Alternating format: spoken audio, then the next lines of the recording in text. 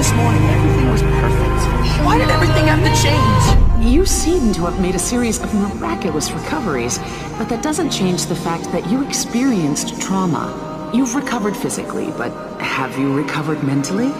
You think there's something wrong with my brain?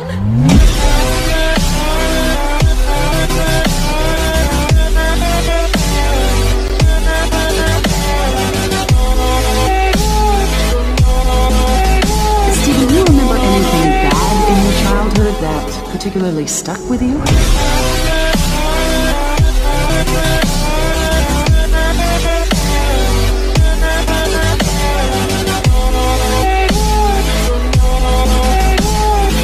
There's no such thing as happily ever after.